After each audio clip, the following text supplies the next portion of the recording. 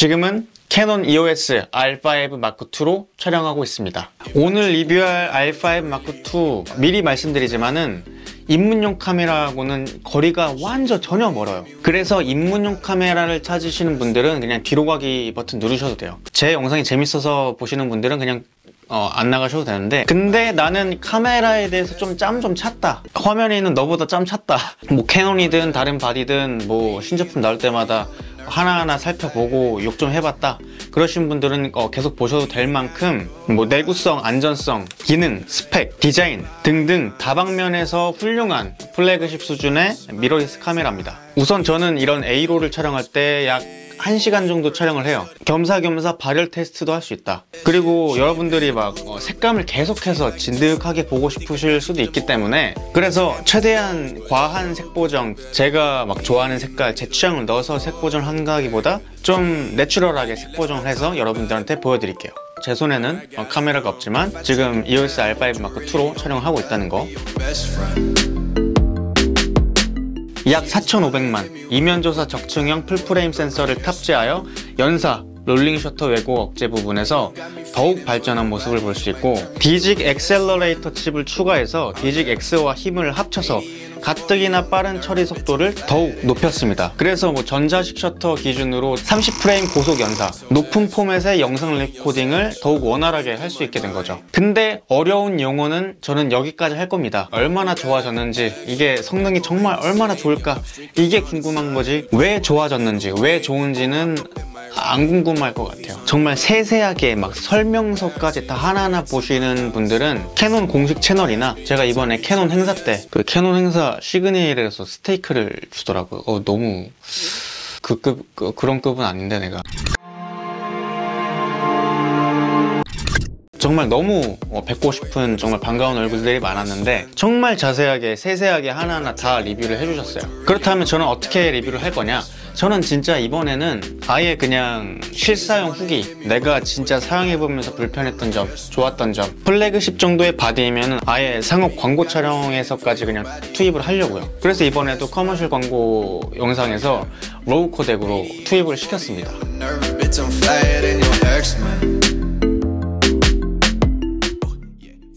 지금 보고 계신 장면은 조명이 노출되거나 흔들림이 있어서 사용하지 못했던 footage들을 리뷰의 참고 자료로 활용한 영상입니다.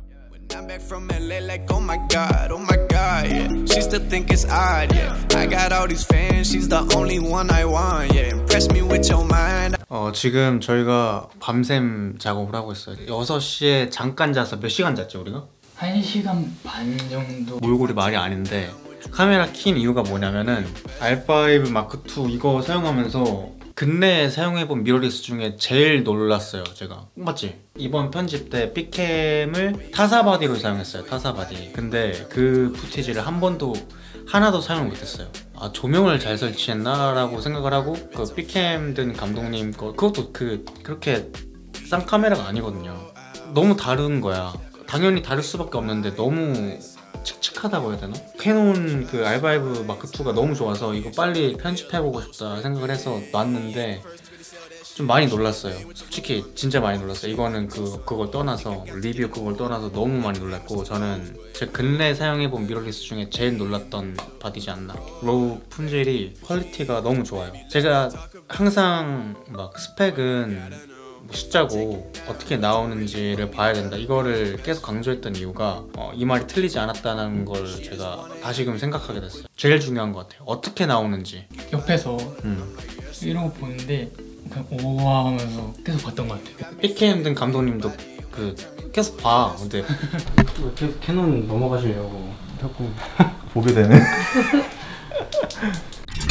내가 정말 마음에 드는 품질 내려면 진짜 정말 비싼 쪽으로 가야 됐었는데 미러리스가 이 품질을 내는 게 완전 처음이었어요 저는. 진짜 처음이었어요. 개인적으로 지금은 1등은 캐논 바디라기보다 R5 마크 2야 미러리스 중에. 지금 이 편집 다 하고 나서 말을 해야 될 것 같아서 켰어. 제가 어, 상업 투입을 할 때 그냥 어, 이거 상업 투입해서 리뷰를 해야지 이렇게 가볍게 하진 않아요 특히나 커머셜 광고 같은 경우는 굉장히 뭐 예산이 좀 있는 그런 광고들이라서 절대 뭐 가볍게 테스트 겸 해서 리뷰를 위해서 투입하거나 그러지 않는단 말이죠. 어, 8K RAW, 4K RAW 이미지 테스트를 해봤고 품질 테스트를 해봤고 AF 테스트도 어, 해봤어요. 당연하게도 발열, 발열 부분에서도 아 이 정도면 상업 투입할 수 있겠다 테스트를 해보고 진행해보고 제가 감독으로서 판단하에 EOS R5 마크2를 상업에 투입을 시켰습니다. 절대 테스트로 가볍게 투입을 한 건 아니라는 걸 알고 계셨으면 좋겠습니다. 일단은 크기. 이게 플래그십 정도에 근접하는 그런 바디인데도 불구하고 어, 크기가 굉장히 컴팩트하죠? 어, 그립 부분이 깊어서 그립 부분은 굉장히 좋습니다. 위쪽은 마그네슘 합금으로 제작이 된 것 같고 어, 확실히 윗등급의 단계다라고 생각하게 된 게 이제 모니터 퀄리티가 좀 좋아요. 이제는 없으면 안 되는 어, 사진, 영상 변경할 수 있는 토글 그리고 모드 변경이 오른쪽에 있어가지고 쉽게 한 손으로 조절할 수가 있고 다이얼도 앞쪽에 하나 뒤쪽에 하나 그리고 후면에 하나 이렇게 있습니다. 뭐 전반적으로는 특별한 건 없는데 특별하게 달라진 게 하나 보입니다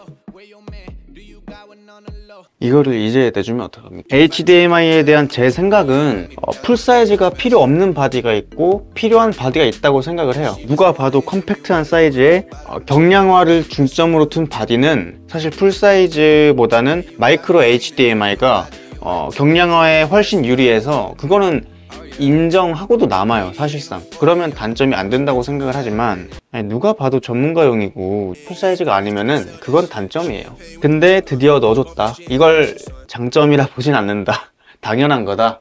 이렇게 생각을 합니다. 어, 그리고 카드 슬롯. 슬롯이 두 개인데 어, CF 카드 하나, SD 카드 하나입니다. 그리고 이번에 달라진 게 흡입구와 배기구가 있습니다. 발열팬이 없는데 왜 그게 들어있지라고 생각을 해봤는데 전용 쿨링팬이 있더라고요. 처음에 생각했을 때는 이게 맞나? 싶은 생각이 들었는데 이 디자인과 크기 그리고 무게를 유지하려면은 차라리 뺐다 꼈다 할 수 있는 게 나을 수도 있겠다라고 생각이 들었어요 약간 설득이 됐다? 만약에 쿨링팬이 탑재된 모습이라면 약간 R5보다는 R5C 약간 좀 미러리스보다는 시네마라인처럼 뚱뚱해지지 않았을까 음. 이 정도 성능에 이 정도 경량화 그리고 로우에서도 어느 정도 쿨링팬이 없어도 어느 정도 촬영할 수 있는 모습 이런 퍼포먼스를 보여주고 있고 그래도 장시간 촬영하려는 분들을 위해 어느 정도 대안을 내준 거잖아요 이 배터리 두 개가 들어가요. 어, 배터리 두 개가 들어가고 열착을 시키고 꽉 조여주면은 그러면은 이게 이거 뭐야 이거는 R1 아니야? 이런 모습이 됩니다. 그리고 배터리가 두 개 들어가 있기 때문에 어, 배터리 용량이 당연히 두 배로 늘어난 거죠? 라고 말하면은 약간 모순이죠. 발열팬 돌아가는 그 힘도 배터리를 사용하기 때문에 촬영 시간은 한 1.5배에서 1.7배 정도 늘어났다고 보시면 됩니다 11시부터 4시 15분까지 촬영을 했는데 이게 배터리 걱정 없는 게 좋은 것 같아요. 이 솔루션은 이건 너무 주관적인 거라서 여러분들은 어떻게 생각할지 모르겠네요. 그리고 이번에 하슈가 좀 달라졌죠. 4채널 마이크까지 아날로그 선 없이 연결할 수가 있, 다고 해요. 물론 4채널까지 가능한 그런 오인패 같은 게 필요하겠죠. 뭐 그것만 되면은 뭐 진짜 뭐 팟캐스트나 다양한 방면에서 사용할 수 있을 것 같습니다. 그러니까 계속 시대가 변하면서 맞춰지는 것 같아요. EOS R5 Mark II 영상 스펙은 이제는 4K 24프레임, 30프레임, 뭐 60프레임, 120프레임 들어가 줘야 되고요. 논crop으로 그리고 120프레임에서도 오디오 레코딩이 됩니다. 그리고 8K 60프레임 어, RAW까지 촬영이 됩니다. RAW 영상 레코딩이 이제는 기본이 되어 가나 봐요. 이런 플래그십 정도의 카메라에서는 이제는 기본이 되어 가나 봐요. 여기서 잠깐 어, 집중을 하셔야 되는 게 이번에 EOS R5 Mark II가 4K 60프레임에서 뭐 6K oversampling을 하지 않고 line skipping 방식으로 어, 레코딩을 한다고 들었어요. 그래서 많은 사람들이 그 소식을 듣고 좀 우려를 많이 했죠. 이렇게 막 소식만 들으면은 막 모아레 현상이 있을 것 같고 디테일 손실이 있을 것 같고 막 그렇게 생각을 하시지만 막상 보면은 막상 사용해 보시면은 어, 그런 것들이 막 생각나지 않을 만큼 좋습니다. 어, 이거는 오버 샘플링이 아니야. 이거를 안 들었었던 때에 뇌로 돌아가서 사용을 해보면은 아무 생각 없이 뭐 4K 60프레임 좋은데? 이렇게 생각하실 만큼 어, 보기 좋아요 어, 그리고 개인적으로 저는 용량이 작으면서 어, 퀄리티는 정말 좋은 어, 고효율 코덱을 굉장히 좋아하는데 이번에도 새로운 포맷이 추가되었더라고요. XF-HEVC S 그 코덱을 선택을 하시고 촬영하시면 은 용량이 어, 좀 덜어지는 걸 볼 수가 있습니다. 근데 퀄리티는 좋아요. 그리고 C-Log2가 추가되었습니다. C-Log2는 음, dynamic range가 더 넓다고 알고 있어요. C-Log3보다 1 stop 더 높다고 알고 있는데 개인적으로는 저는 상업에서는 C-Log3만 씁니다. 그 C로그3가 다이내믹 레인지가 2보다는 조금 사용해서 부, 불편할 만큼의 차이가 아니라서 dynamic range는 일단은 둘 다 넓기 때문에 그건 건너뛰고 피부 톤 색감이 저는 개인적으로 더 좋다고 생각을 해요 3가. 2는 좀 더 부드럽고 뭔가 더 dynamic range가 좀 더 넓지만 좀 더 부드럽고 그런 거 좋아하시는 분들은 C-Log 2도 나쁘지 않지만 상업에서는 C-Log 3가 어, 더 좋다고 생각을 합니다. C-Log 2는 암부 디테일을 살리기도 쉽고 노출을 잡기도 수월하기 때문에 인물을 촬영할 때는 C-Log 3, 그 외에는 C-Log 2를 번갈아 가면서 이렇게 사용할 것 같아요 She just wanna hit me with a quickie by the pool and I'm like yes ma'am 자, 그 다음 AI. 요즘에 AI 시대잖아요. 음, 저도 가끔 사용해보고 있는데 이제는 카메라에서도 AI가 탑재가 되었어요. 시선 제어 AF. 제가 잠깐 사용을 해봤어요. 잠깐. 저는 뷰파인더 볼 일이 없지만 잠깐 사용을 해봤는데 감톨 같네. 좀 눈 검출하는 거 사용해보고 있는데 그렇게 완벽하진 않아요. 이렇게 그러니까 내가 이쪽을 이렇게 응시하고 있으면은 어, 동그라미가 이, 이렇게 이렇게 왔다 갔다 해. 재밌다고 해야 되나? 재밌네요. 되게. 완벽하진 않지만 계속해서 이게 기능이 발전되면은 어느 순간부터는 내가 눈을 딱 보는 곳에 이렇게 가만히 있지 않을까 이런 생각을 해봅니다. 굉장히 재밌네요. 근데 지금 보니까 시선 제어를 내 눈에 맞출 수 있게 설정하는 게 있더라고요. 그걸 내 눈에 맞게 어, 조정을 하고 하니까 어, 정확도가 꽤 높은데요? 생각보다? 재밌는 기능을 넘어서서 좀 잘 사용할 것 같은 그런 기능일 것 같아요. 음, 신기해. 그 다음 AI가 딥러닝 기술이에요. 미리 제 얼굴이 촬영된 사진을 어, 여기다 입력을 하고 저장을 하면은 제 얼굴, 제 생김새를 우선적으로 AF를 잡습니다. 여러 사람들이 있어도 제 얼굴을 우선적으로 AF를 잡아요. 어, 우선순위가 있겠죠. 어, 여러 사람을 등록을 할 수가 있는데 이 기능이 저는 개인적으로 웨딩 하시는 분들 있잖아요. 웨딩 하시는 분들이 적극적으로 활용을 했으면 좋겠어요. 왜냐면은 웨딩 촬영할 때 사람들 많잖아요. 물론 터치를 하면은 뭐 또 캐논이니까 잘 따라가요. 여기서 한 발자국 더 어, 진화를 한 거죠. 신랑 신부 어차피 사진 촬영하는 시간이 있을 거예요. 뭐 제가 뭐 결혼을 안 해봐서 모르겠지만 그 시간에 어 저장을 해두고 우선적으로 추적할 대상을 입력해서 촬영을 진행을 하는 거죠. 뭐 이렇게 저처럼 혼자 어, 촬영하는 이런 영상들은 뭐 필요가 없겠지만 여러 사람이 나오는데 주인공이 진짜 정해져 있다. 어, 그렇다면은 뭐 유용하게 사용을 하실 수 있는 그런 기능일 것 같습니다. 자 그 다음 발열. 실사용에서 제가 사용을 해봤는데 발열 경고등 뜨긴 했습니다. 상업에서 투입했을 때 그 로우로 촬영을 했습니다. 그때는 물론 cooling fan 이거 cooling fan CF-R20EP 이 제품을 장착해서 어, 촬영을 진행했지만 이제 ready action 하고 끊어서 갔는지 몰라도 어, 정말 무리 없이 잘 촬영을 했습니다. 물론 환경에 따라서 그리고 촬영 방식에 따라서 아무리 cooling fan 기능이 좋아도 지속적으로 RAW를 촬영할 수는 없고 어느 정도 제한이 있다는 것만 알아주시면 좋을 것 같습니다. 8K RAW 60프레임에서는 약 24분쯤에 발열로 인한 강제 종료가 되었고 4K fine 24프레임 intra에서는 약 1시간 30분 저온 화상 주의라고 경고가 떴어요. 만져보니까 굉장히 뜨겁더라고요. 여기서 더 촬영하면은 전자기기가 아무래도 발열에 취약하기 때문에 어, 꺼야 될 것 같아서 껐습니다. 이거 계속 촬영됐는데 이게 왜 계속 촬영되는지 모르겠어요. 기기에도 손상이 갈 것 같아서 그래서 이거는 어쩔 수 없이 어, 끄겠습니다. 아무래도 가을이다 보니까 날씨가 선선해져서 평균값보다 어, 좀 더 길게 촬영이 된 것 같습니다. 근데 많은 사람들 뭐 뜨거운 조명 여름의 야외 현장 등등 상황에 따라서 달라지겠지만 어, 캐논 공식표랑 크게 다르진 않습니다 자, 그 다음 손떨방. 손떨방이 5축입니다. 5축 바디 내장 손떨방인데 최대 8.5 stop까지 손떨방 보정이 된다고 합니다. 감독님 팔 근력이 되게 좋으신가 봐요. 짐벌이 없는데 손떨방 기능이 좀 잘 되시는 네, 손떨방 이가 얘가 손떨방이죠. 카메라가 좀 그렇지.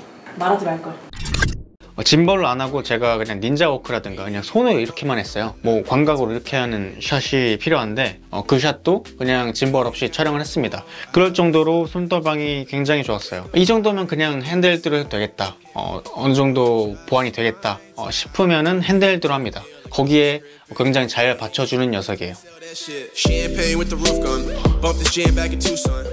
어, 그 다음은 그 외에 기능들. 사실 기능들이 너무 많아요. 너무 많아. 이거 하나하나 다 설명할 수가 없어요. 일단 지금 탈리램프 있습니다. 어, 너무 좋아요. 녹화하면 이렇게 빨간불이 들어와요. 근데 발열이 뜰 때 발열이 있다고 깜빡깜빡 들어요. 그리고 펄스 컬러. 어, 펄스 컬러는 제가 좀 가끔 사용하는 기능인데 뭐 노출 값을 색으로 직관적으로 볼 수 있게끔 하는 그런 기능이에요. 이 기능 정말 잘 사용하시는 분들은 정말 많이 사용하시고요. 안 사용하시는 분들은 정말 안 사용해요.